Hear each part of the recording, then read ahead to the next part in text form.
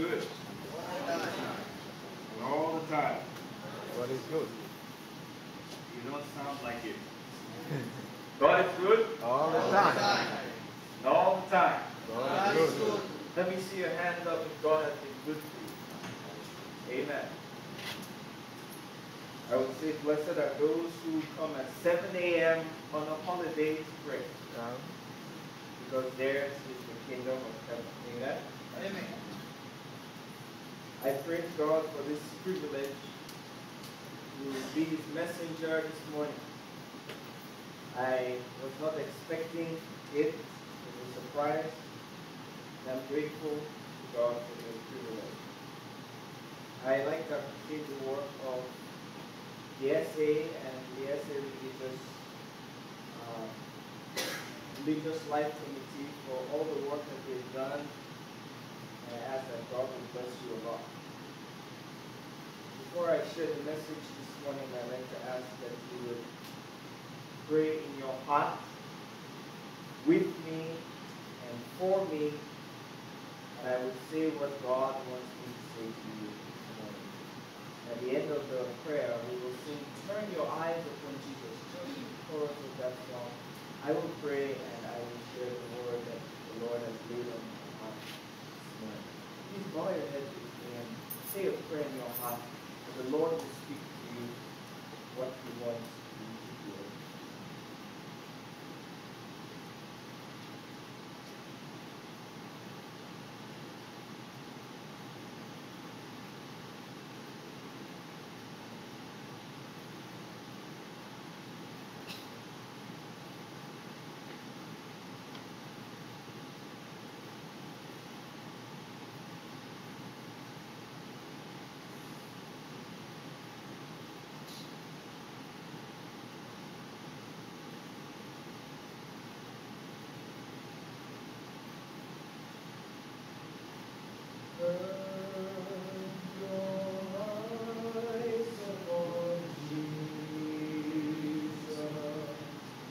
Lord, who is wonderful face, and the things of earth will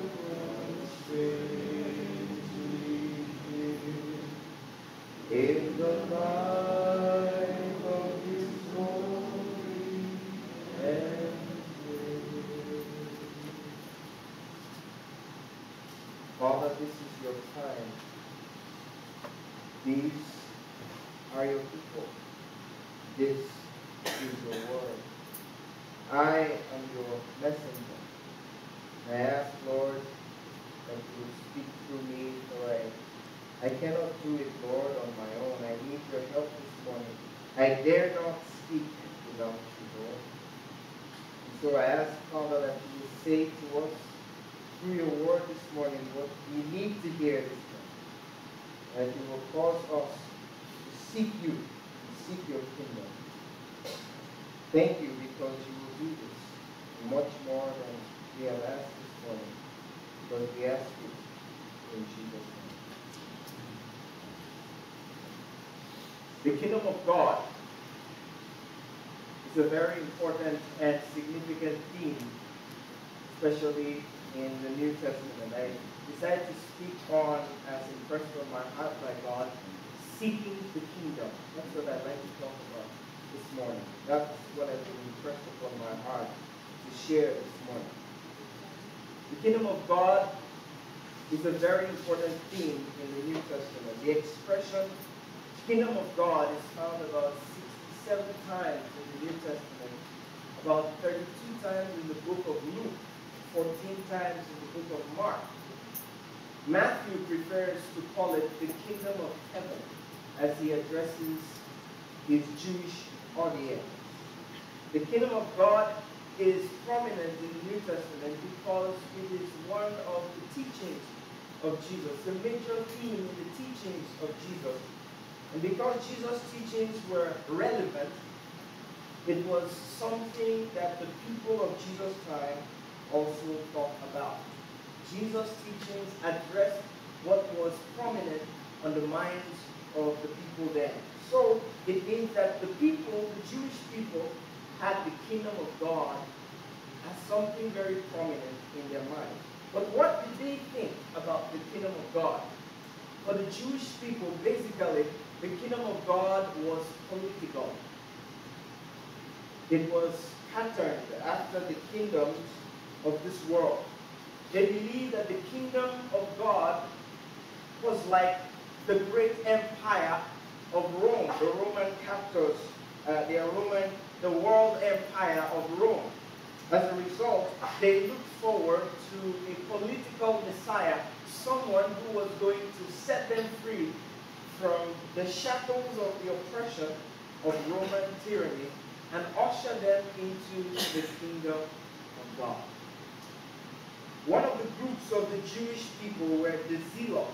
They were very zealous for the kingdom of God, so zealous that they violently murdered and assassinated Roman soldiers whenever they had the opportunity.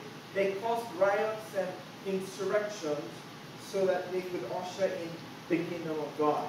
They were willing to fight, even to die, for the kingdom of God. As a result, many of these zealots, many of these Jews were crucified by the Roman power. Barabbas, the man who was supposed to die in place of Jesus, as an example of a zealot-like Jew. Luke 23, 18 and 19 tells us that Barabbas was arrested because he caused rebellion and because he committed murder. It's interesting to see that when Jesus came into the scene, what people thought of the kingdom of God, this presupposition of the kingdom of God, this preconceived idea that the kingdom of God was political, affected the way people saw everything that Jesus did. Let me give you a few examples. Uh, David Asscherick was sharing, uh, conducted a week of prayer at the GC earlier this year in March. The theme of that was the kingdom of God in my life today. That was the theme of the week of prayer. It was just four days. I was privileged to listen to one of the sermons, and I got some of the things I share with you this morning from some of his insights. He says, when Jesus fed the 5,000, the people saw, the people, when the people saw that, they said, oh, when our armies attack the Romans and our food supply runs out, Jesus will multiply our food supply. When Jesus healed the sick, the people thought, well, when our Romans, uh, when our soldiers are down, are wounded, are sick, are ailing, Jesus will heal their wounds. And I think the best of all was when they saw Jesus raise the dead. When they saw Jesus raise Lazarus four days after, they said, Oh, when our soldiers are killed, Jesus will call them back to life. We will never lose manpower in battle. Everything Jesus did, they saw in the light of this political kingdom. This was the way the Jewish people thought about the kingdom of God from a political perspective, the kingdom of their own making. Even the disciples of Jesus were not left out in this thought of the kingdom. They always fought and quarreled with each other over who would be the greatest in the kingdom. They thought, well, when Jesus took power, I would be the prime minister and I would be the minister of defense or foreign affairs. They were always quarreling and it was so serious. And the mother of James and John came to Jesus and said, Lord, when you sit on power, can you put my sons one on your right and one on your left? Matthew 20 gives us that account. And the other disciples were angry at these boys, that's their mother, to talk to Jesus for them. The disciples thought the same.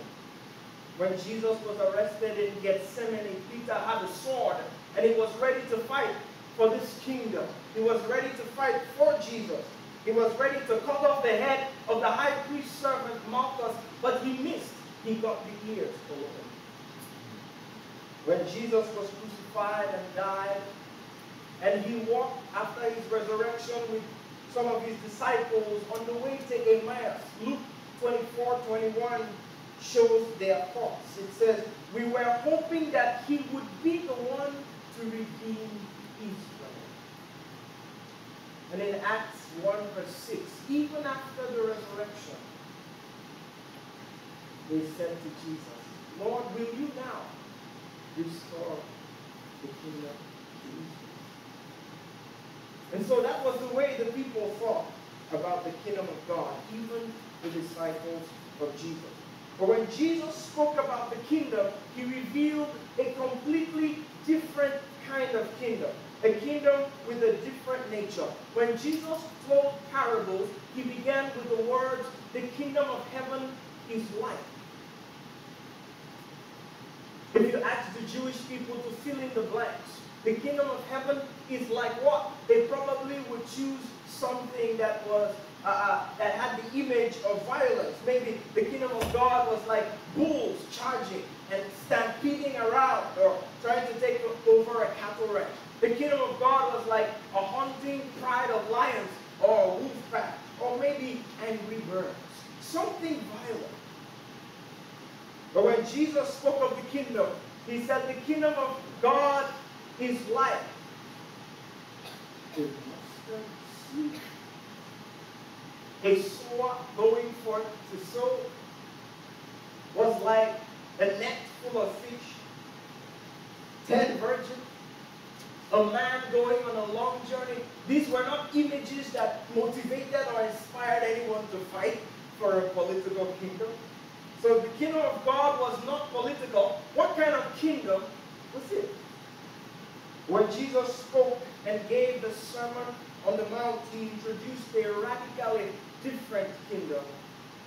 When he stood on the Mount Sinai of the New Testament to declare the principles of this kingdom, Donald Kraybill calls it an upside down kingdom.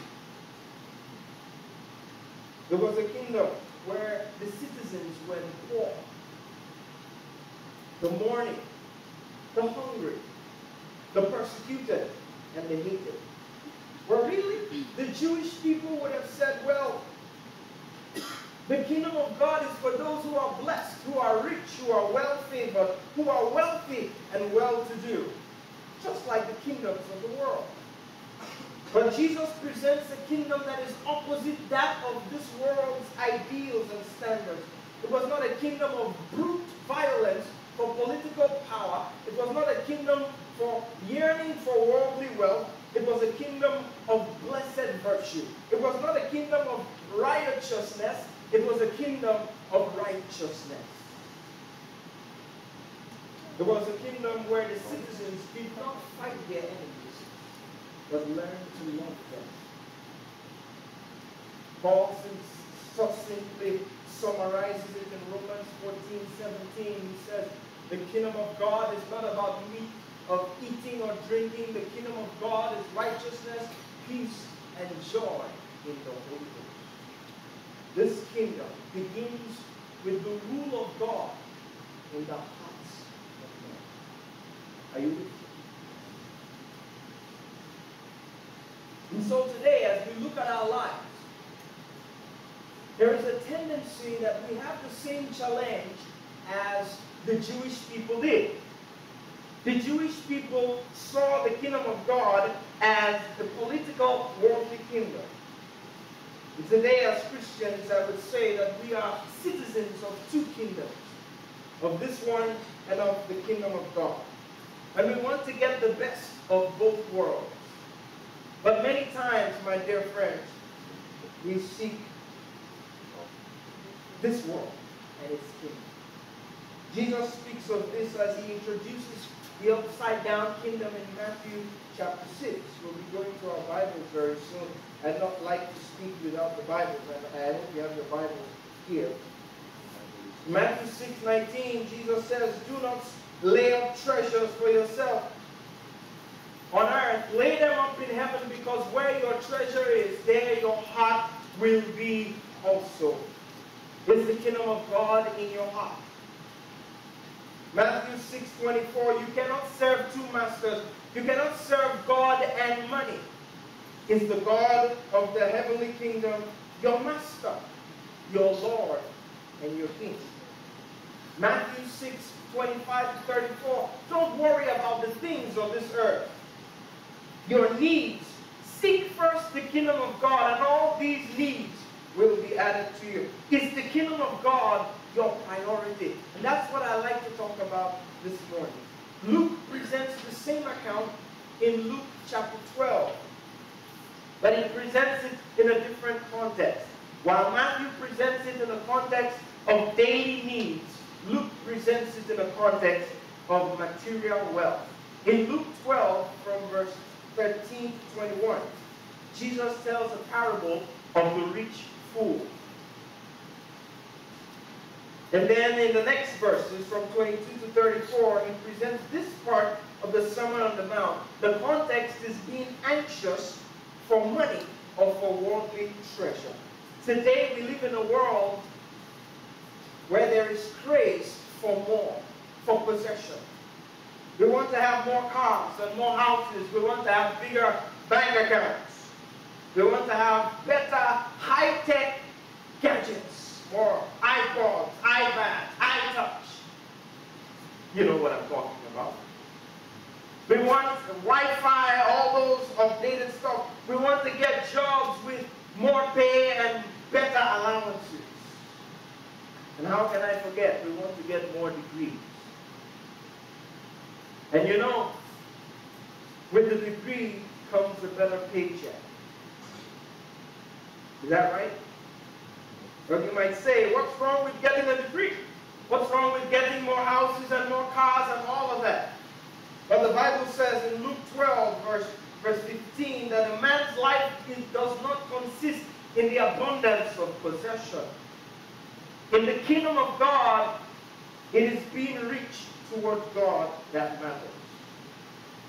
Where is the desire for the kingdom of God in all of this? Very clear, as Jesus says in Matthew 6 24, we cannot serve two masters. We cannot have two priorities. It is either one or the other. If we're seeking to make a name for ourselves in this kingdom, then we lose the desire for the kingdom of God. Where is the desire for the kingdom in all of this? In Matthew 6, 32 and 33, Luke says the same in Luke 12, verse 30 and 31. Jesus makes a comparison. In the, the previous verses, Jesus says, the Gentiles, Luke calls them the people, the nations of the world, they seek after these things what we will eat, and what we will drink, and what we will wear. But, Jesus says, in an imperative voice, a second person plural, he says, You seek the kingdom of God. It's not a common statement. An imperative is usually a command, it's usually an order, something, an instruction that should be taken seriously. In this imperative voice, Jesus says, Seek the kingdom. The word seek is not a careless word. It is not something that should be taken anyhow. It's not a word that suggests being carefree. The word seek has synonyms like to pursue, to, to search for, to examine, to investigate, to desire, to deliberate, to aim for, to strive for, to request, or to demand. This reveals the attitude we should have for the kingdom of God. In these two passages, Matthew 6, 32 and 33, Luke 12, 30 and 31, the same word seek is used for the Gentiles. They seek after these things. And these two verses make a contrast. While the people of the world intentionally seek after these things, the citizens of the kingdom of God should intentionally seek for the kingdom. There should be a difference. But there's a problem when we who call ourselves citizens of the kingdom of God are seeking the same things as the people of the world. Are you with me? Jesus says that there needs to be a difference. The kingdom of God should be sought intentionally, and it should be our priority. Matthew's account adds the word first. That word you will not find in Luke. But Matthew says, but seek first the kingdom of God and his righteousness. What does it mean to seek first the kingdom of God? On the scale of preference, the kingdom of God must be on top. Follow me to another parable of Jesus in Matthew 13. The speaker spoke about it last night. The, the pearl of great price. It's a little illustration of what it means to seek for the kingdom.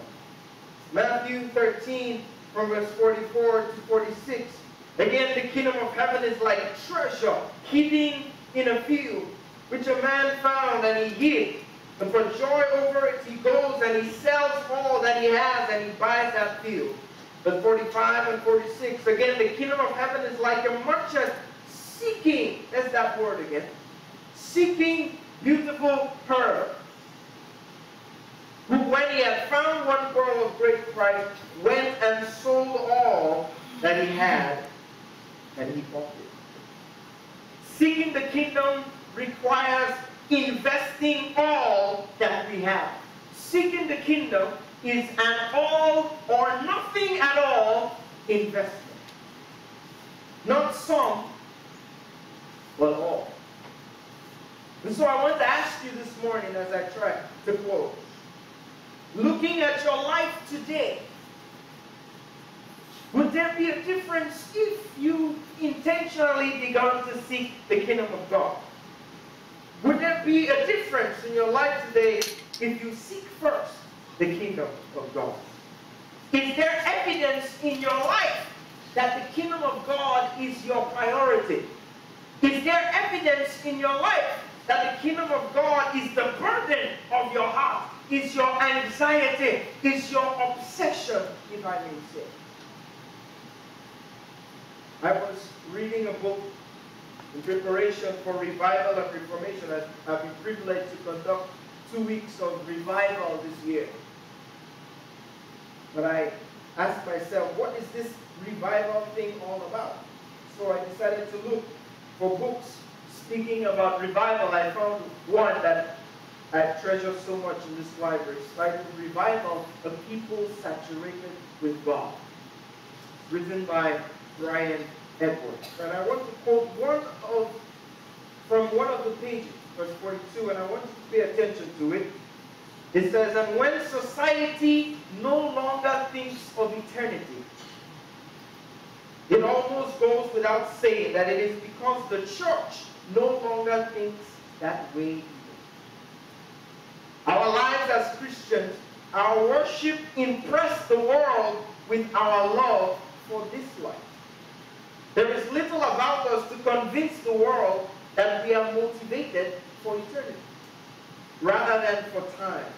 People do not touch eternity in our meetings. They rarely hear of it in our conversation. They certainly do not see it as the priority of our life. Are you listening? Of course, it glances off our gospel here and there, but we are not passionate about heaven or the second coming of Christ. We have lost the sense of accountability.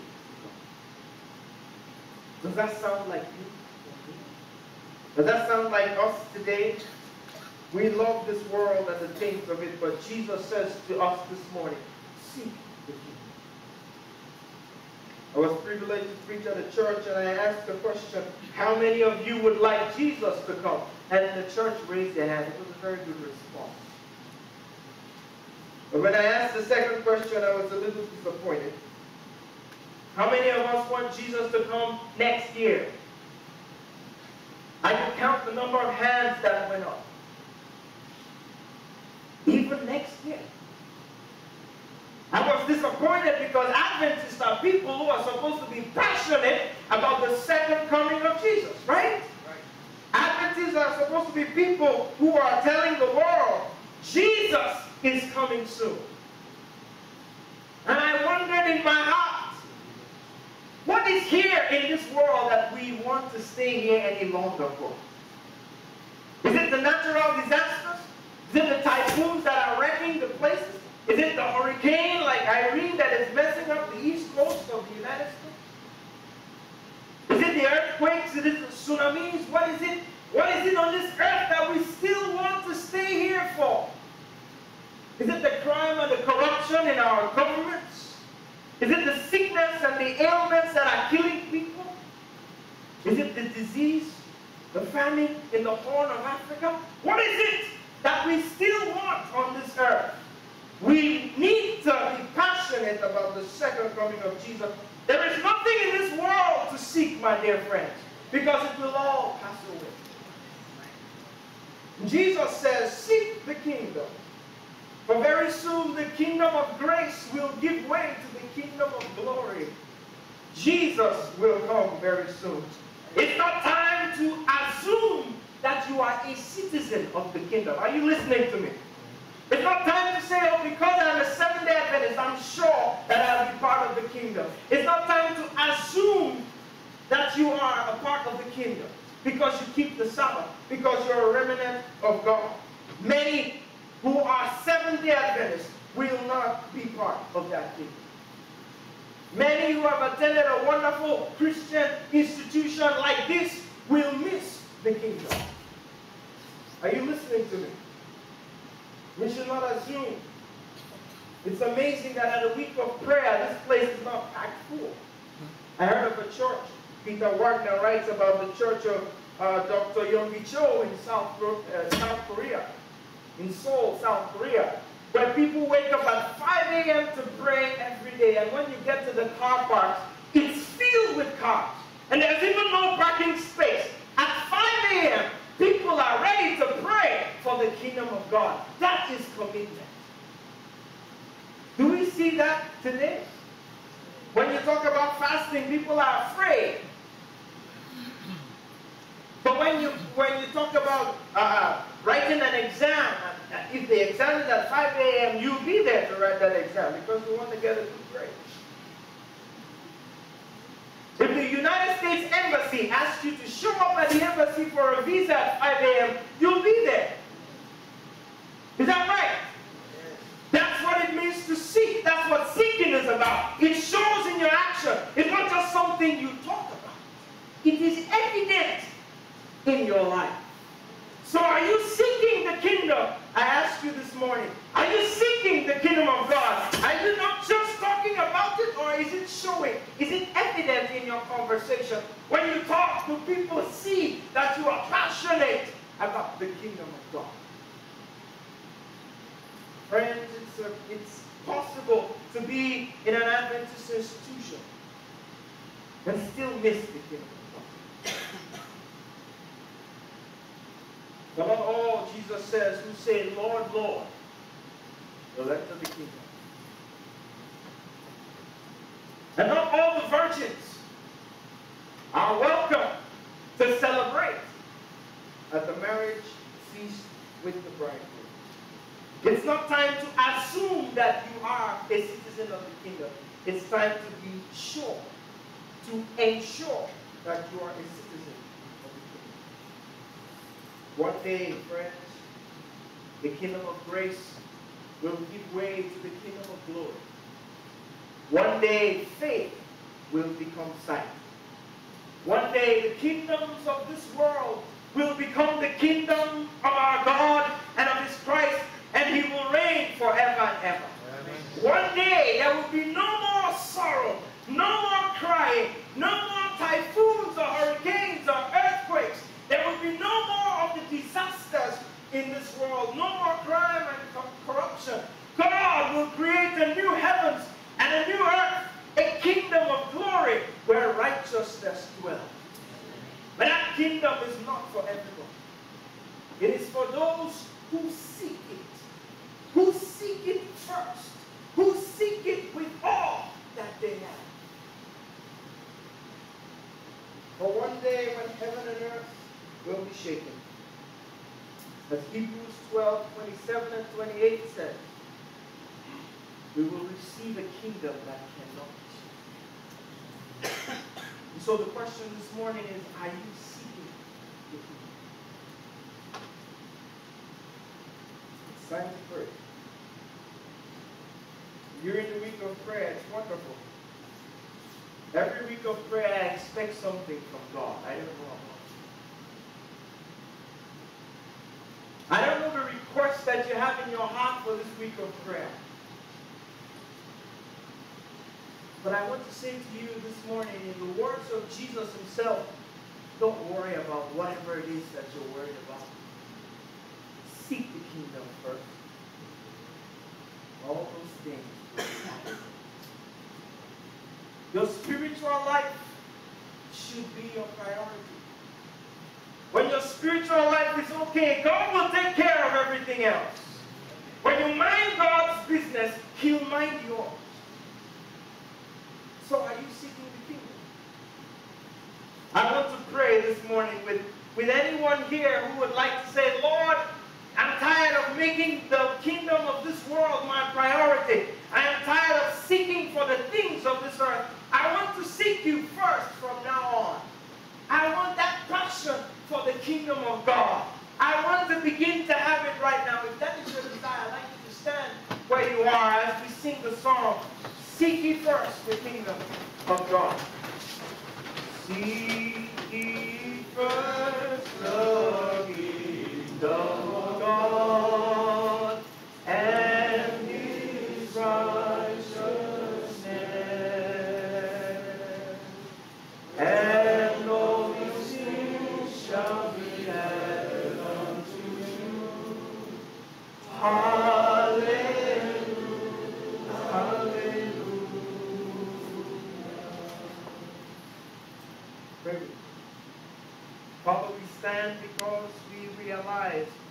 recognize in our lives that we have made the things of this world our priority.